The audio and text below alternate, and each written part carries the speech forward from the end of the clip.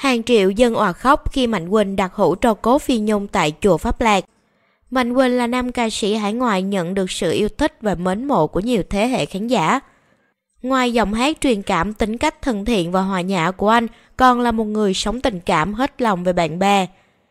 Điều này đã giúp trong nhiều năm qua Mạnh Quỳnh vẫn có chỗ đứng nhất định trong lòng khán giả yêu nhạc.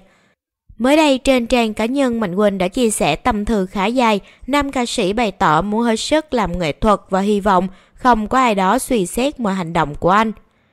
Cụ thể giọng ca căn nhà dĩ vãng bất bình lên tiếng.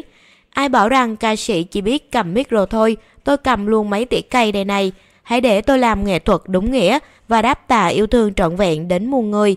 Đừng đoán già đoán non, đặt để chuyện tôi đang làm theo trí tưởng tượng phong phú của bạn. Chọc tôi giận, tôi buồn, tôi không thèm hát vọng cổ tiếng Anh cho mà nghe, đừng nói sao xui nha. Hơn 9 tháng qua rồi, tôi khóc nhiều hơn tôi cười các bạn có biết hay không? Để tôi yên mà dốc tâm dốc lực ra để làm tất cả năm 10 năm còn lại trong cuộc đời nghệ thuật của tôi. Nam ca sĩ cầu xin ai đó dừng lại sự quan tâm quá đà.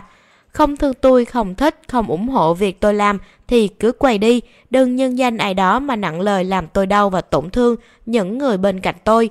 Làm ơn tôi xin các bạn đấy, mất mát quá nhiều trong trận Covid vừa qua chưa đủ để thức tỉnh con người chúng ta hay sao? Đừng dùng công nghệ điện toán tiến bộ ngày nay để biến các bạn thành nô lệ cho cái điện thoại, cái vi tính vì phải ngồi cả ngày để chật chờ xem ai làm gì, để phi vào bình luận vô tội vạ. Hãy dành thời gian đó mà làm những việc ý nghĩa hơn. Bên dưới phần bình luận, người hâm mộ đều động viên Mạnh Quỳnh nên bỏ ngoài tai những ý kiến tiêu cực. Một số cho rằng anh chỉ cần tập trung sáng tác thật nhiều bài hay. Một số bình luận của cư dân mạng Chúc thần tượng nhiều sức khỏe, sáng tác nhiều ca khúc mới dành cho khán giả nhé. Anh hai Mạnh Quỳnh giỏi ghê nè, bỏ hết ngoài tai đi anh ơi.